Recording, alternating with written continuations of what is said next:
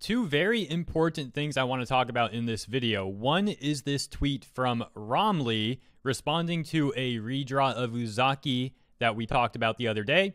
The other thing I want to talk about is this tweet from a Japanese Twitter user, Wokada156, who is talking about another redraw and this tweet has almost 2,000 likes. And for the record, this redraw that I just showed you from the prior tweet that I have not covered on my channel yet until this video is indeed also being talked about on Japanese websites. And not just that, but they're also talking about this redraw from the same artist who says, I also redesigned Elma from Miss Kobayashi's Dragon Maid. So they're talking about that too. That's what we're going to go over in this video. Let's get to it. We'll go back to the Romley tweet after this part of the video. Since we're already talking about the redraws now, let's just stick on that. So here's the original tweet of this redraw says, I made a redesign for Uzaki-chan. She is now normal. As you can probably imagine, people in Japan are curious what this person means about she is now normal. What's that supposed to mean?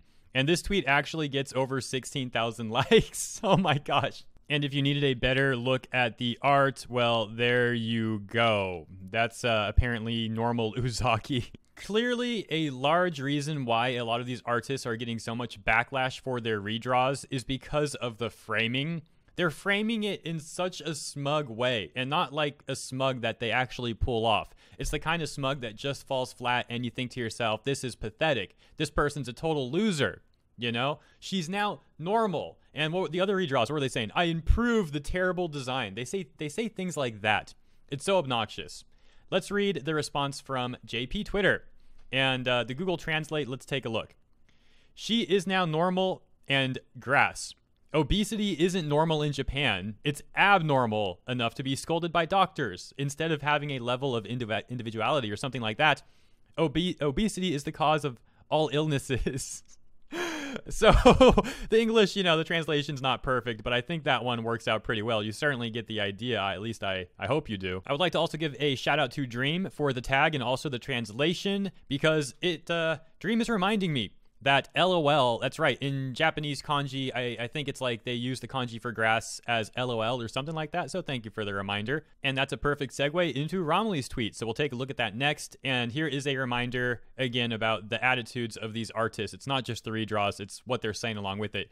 For example, this one says, I redrew that gross anime design and actually made her 20 years old. The anatomy on the OG hurt me so much, guys also gave her a froggy because her fit was boring. So, you know, multiple insults there to the original art. They're not just redrawing it, they're also insulting the original artists and the fans and all that sort of thing. Now, here's what Romley has to say. And for those of you who've been t- tuning into my segments, it's going to sound a little bit familiar what Romley is saying because I said something very similar a couple days ago.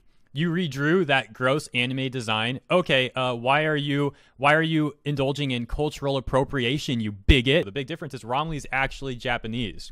Here's what Romley says As a Japanese, the left looks like a white, while Uzaki chan is Japanese and the right looks more Japanese than the left. Isn't it whitewashing or cultural appropriation? At least it's quite opposite to political correctness, isn't it? So I think what's going on here is that Romley and I are making very similar points. We're basically trying to flip their logic back at them. And I use logic with air quotes because can you even really say that these people are being logical? Not really. Not really.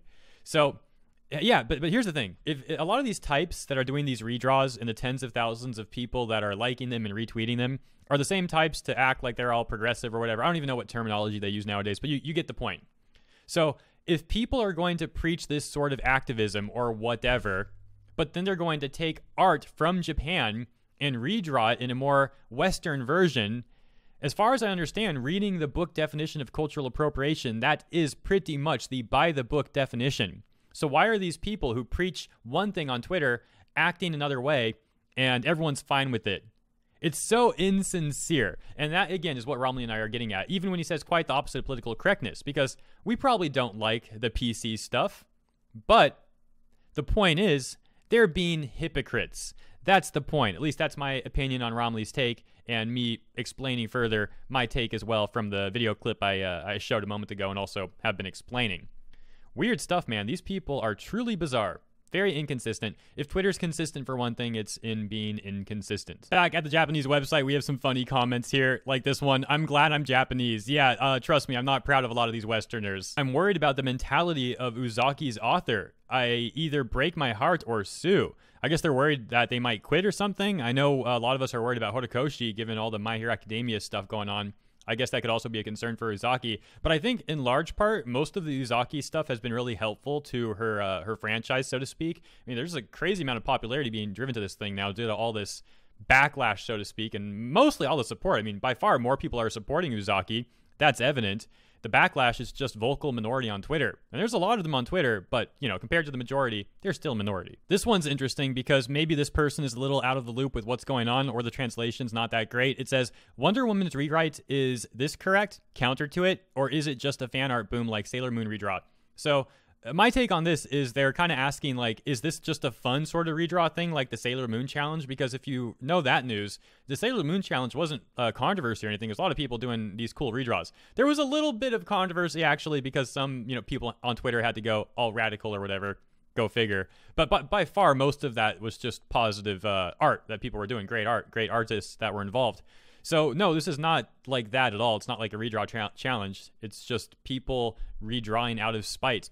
And I frame it that way because literally the captions they put with their redraws, fixing that ugly design and things like that, it's very pathetic.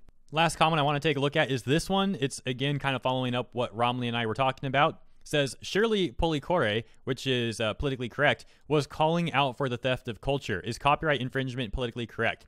So, copyright infringement, maybe that's a translation, but you get the idea. They're talking about cultural appropriation, theft of culture. Same kind of thing. Yes, it's indeed very hypocritical. People on Twitter say it's a bad thing to do, and then they go and do that thing. Wait, we actually have one more example I want to show you guys. This is too hilarious. This whole uh, thread right here, so to speak. To correct the expression according to the correct idea, frankly, that's fascism. So I think you get the idea again, kind of following up all of what we've been talking about and saying that is actually fascism. This one says there are too few common parts before Elma's redesign in Polycore, so it's just an original character. That's so hilarious to me. If I'm reading this properly, they're basically saying the redesign is so poorly done, it looks like an OC. It doesn't even look like Uzaki. and this person, Uzaki Chan's drawing, the position of the base of the legs, they, they don't have an abdomen. So this is not normal because again, the tweet was saying it was a nor- you know they just want to make her look normal. This person saying that she doesn't even have like it doesn't look normal. Basically, you get the point.